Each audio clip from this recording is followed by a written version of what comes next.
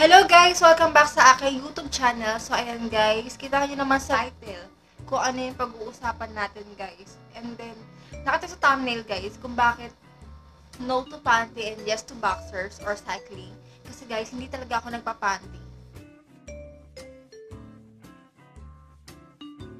So ayan na nga guys, bakit ba ako hindi nagpa-panty?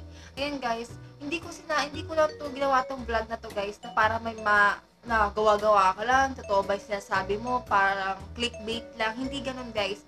May edit ako dito guys, may ilalagay ako dito mismo sa screen, comment ko sa video ni Miss Chris Lumagi yung about um, uh, caring our private part. Basta guys, ayun, tungkol sa pagkikare sa ating kalikasan, ayun guys.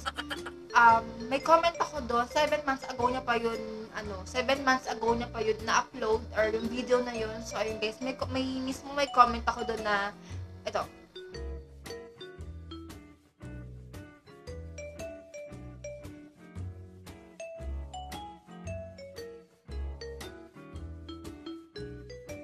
Guys, sa akin muna guys, kung bakit nga ba hindi ako susuot ng panty at hate na hate na hate ko ang panty. Ayun guys, first ano ko guys, ay ano ko lang, kakwento ko lang yung experience ko sa pagsuot ng panty.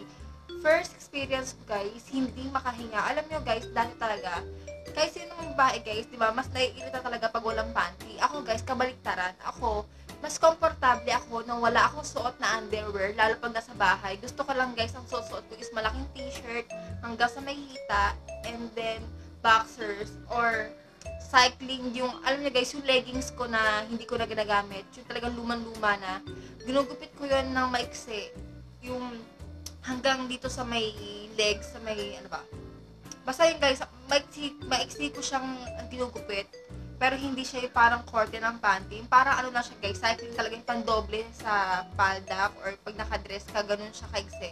Pero never ako nagsusuot ng panty. Yung tipong, pag panty kasi guys, alam niyo, pakiramdam na ipit na ipit yung, ano mo, yung, yung, ano natin, kasi nga, ah, kumbaga na cover na cover siya tapos, ang ma- nakakainis pa doon, pag basta hinubad mo siya, yung garter or yung parang pinaka-ano niya, nagmamarka sa ilalim ng puwet, sa may singit, tapos dito sa may ganito, ayan, sa may ganyan, ayun ang pinaka-hate ko guys, yung magkakaroon tayo ng ano dito, ayan, magkakaroon ng, magkakaroon ng, ano dyan, ng mark. Ayun ang pinaka-ayoko, kaya taga guys, hindi na ako nagsusuot ng panty. Guys, ayun ang pinaka-ayoko yung magkakaroon ng mark, di ba? Ang din. Ayun, yung pinaka-ayoko yung magkakaroon tayo ng mga guhit-guhit. Tapos, pagkatagalan guys, kasi nangingitim yun. Pag once na hindi na, ay, ano ba to? Wait lang ha, wait lang. Pag hindi na agapan guys, ayun yung nagkukos ng pangingitim. Or parang pagdadry ng balat. Basta ayun guys, siya talaga nagkukos ng pangingitim. Dahil nga, syempre namumula, namumula, namumula. Sa araw-araw ka nagpapanty, 24 hours dahil simula pagkaligo mo sa umaga hanggang kinabukasan, di ba nakapanty ka? Siyempre guys, kumbaga nakabakata dun yung pagkapula, hindi mo siya matatanggal. Kumbaga, ako, namumula na siya, namumula na namumula. And then, mangingitim yun guys pag once na hindi siya naagapan. So, ayan guys, kaya hindi din talaga ako nagpapanty sa pag sa bahay. Ayan nga guys, ayan, medyo maliwanag na. Ayan, may dumi na naman. Ayan guys, ayun nga guys yung mga reason ko kung bakit hindi ako nagsusuot ng underwear pa sa bahay. First is yung nagbabakat siya, yung namumula-mula. Siyempre guys, hindi natin na, hindi tayo na-aware minsan, 'di ba, na sa araw-araw na pagsuot natin ng panty, na bumabakat ah bumabakat yung ah, tela or garter sa ating balat. Lalo sa may pisngi ng puwet, sa may singit, sa may parang ah, balakang ba yun or sa bewang. Saan ba yung panty? Depende guys din pala sa ano, sa class ng panty. Meron kasing bikini, meron din kasing low waist, may high waist. Ayan guys. So ayan guys, yung sa akin lang naman, kaya hindi talaga ako susuot ng panty dahil nga mas komportable ako, walang bumabakat, walang maskip, walang walang pamumula pag once na hinubad mo. So ayun, parang free-free ka, di ba? Parang ang sarap-sarap kumilos pag once na walang humahampas-hampas or dumidikit-dikit sa balat mo. So guys, ayun, simula nun guys, nung nagkaroon ng parang bakat-bakat yung aking balakang, saka yung buhit ng, sa may pisngi ng puwet, saka sa ilalim, may parang nangingitim. Alam mo yung parang tawagin ka, ang itim ng kuyukot mo, ang itim ng singit mo. Parang, di ba, ang masakit sa pakiramdam. So, ayun, kaya no talaga, no, no, no, no sa panty. Alam ko guys na may mga panty na may, ha, ano ba, tawag doon, hypoallergenic ba yung tawag doon? Or yung maganda yung tela, hindi siya nakakaano. Pero guys, gumamit din ako guys ng mga soed. Meron din akong body. Yung body guys, yung, ah sabi na yung gawa sa bamboo ba yun? Yung, yung bigay sa akin ng mama ko, ito guys, so. Ito, yung body.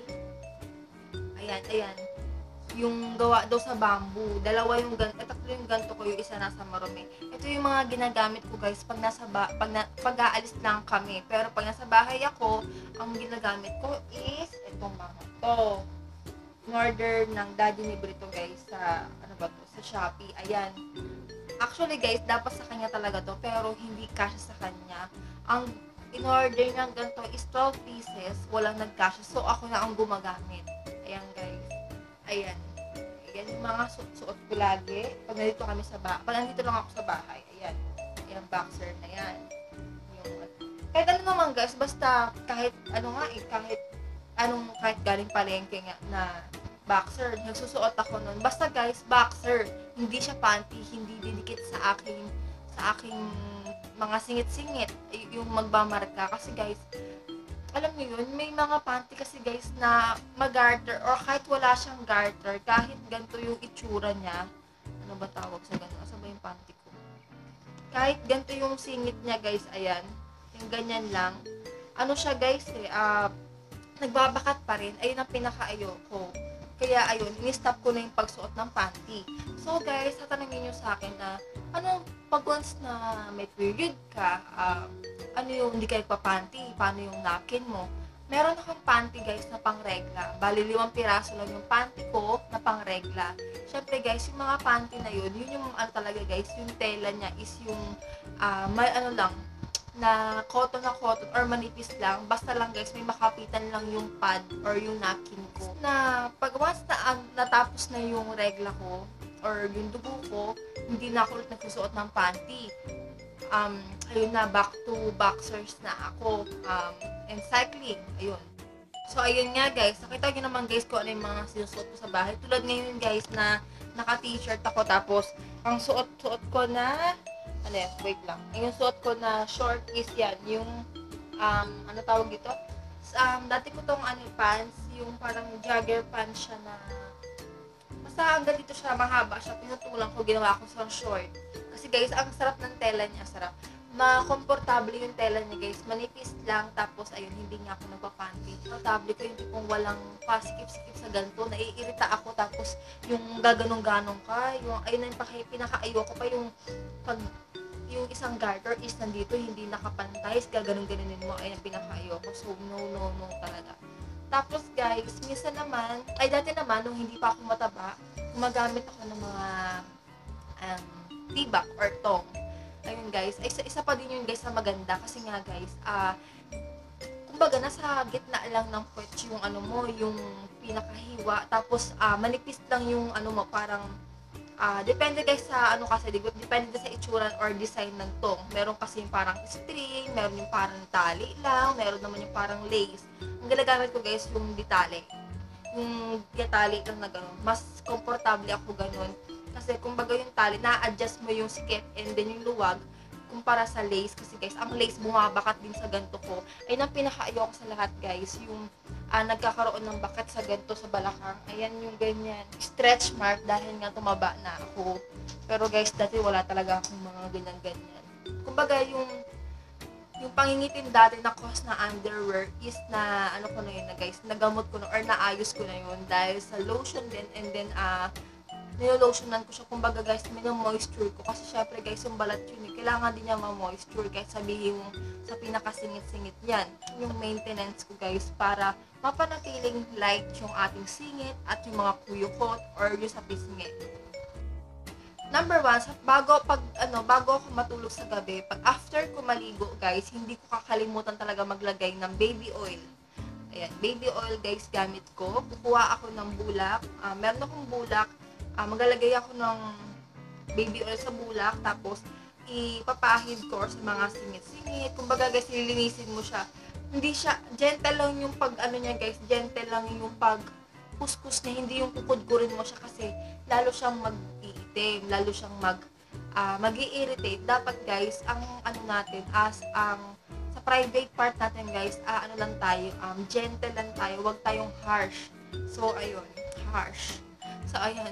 Tapos after ko naman malinisan guys yung mga singit-singit ko, syempre parang ang linis-linis na kasi uh, meron talaga guys na kahit pagtapos mo maligo, akala mo malinis na yung balat mo. Pero pag once na nilagyan mo ng baby oil tapos um, bulak, may makakuha-kuha ka pang konting itim.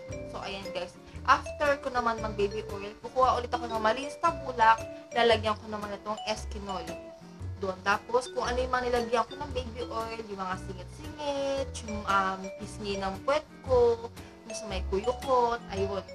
After nun, ito naman yung gagamitin ko. Um, kumbaga yung mga oil, mga excess oil, yung mga nilagay mong baby oil, ito yung pantanggal naman. Ayun. So, gentle din guys. Huwag mo kukuskusin guys kasi nga mag-iirita yung balat natin. So, ayun. After nun guys, after ko maglagay na syempre parang pakiramdam mo wala nang baby oil. Magpapahinga ako siguro mga 30 minutes. Ah, uh, papahanginan ko muna siya. Parang wala pa akong ano, wala akong boxer naka t-shirt lang ako malaki guys kasi ang laging suot ko dito sa bahay guys t-shirt na malaki lang never ako nag uh, never ako nag um, mga short na maong or yung masiskip. Ngayon lang ako nag-short guys ng ano, ganito pero wala akong suit ng underwear. Ayun. Never ako nag-underwear. Basta ganito lang guys, uh, t-shirt, um, short pero wala akong panloob na underwear. So after 30 minutes guys, ito naman ilalagay ko. Yung baby lotion. Ayan, nawala na yung ano, nawala na yung pinaka ano niya. Oatmeal, basta alam ko guys, oatmeal yung ano nito guys. Kasi guys, ang oatmeal maganda sa balat kung makakita nyo guys yung benefits ng oatmeal na gano'n sa balat. So, ito guys. Ito naman yung nilolotion ko guys sa puwet. Hindi na ako naglalagay sa may singit guys kasi ah, natatakot din ako na malagyan yung pinaka-vagina ko. Baka mag-irita syempre. May amoy to, may scent to. Alam niyo ba guys, ang vagina natin na dapat nga hindi tayo gumagamit ng mga babango kasi mas lalo mag-iirita. So, dapat nga guys, um, uh, yung soap lang, tulad ng mga ivory, ayun yung mga ginagamit nating sabon or tubig lang talaga guys na warm yung panghugas natin kasi guys, di ba, madami ng galabasan ngayon na mga, uh, mga um, feminine wash na mababango.